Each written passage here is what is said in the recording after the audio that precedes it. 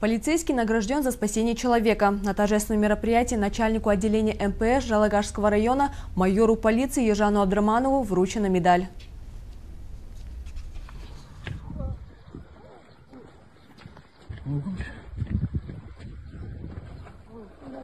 Напомним, это случилось днем 5 июня в Жалагарском районе. 80-летний студент по неосторожности упал в канал близ аула Бухарбай-Батыр. Очевидцы сообщили о ЧП, проезжавшей патрульной машине. Находившийся в машине начальник местной МПС Ержан Абдраманов без раздумий прыгнул в воду. Благодаря оперативности полицейского парень был спасен.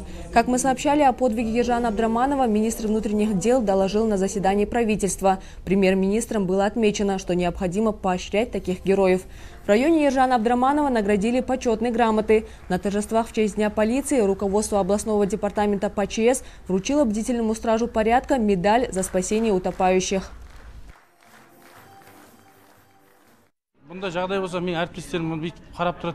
Я не думаю, что если бы на моем месте были бы мои коллеги, они поступили бы иначе. Они сделали бы то же самое, потому что мы служим стране. Я не считаю себя героем. Я выполнял свои обязанности. Я награжден Министерством внутренних дел, Министерством ПЧС.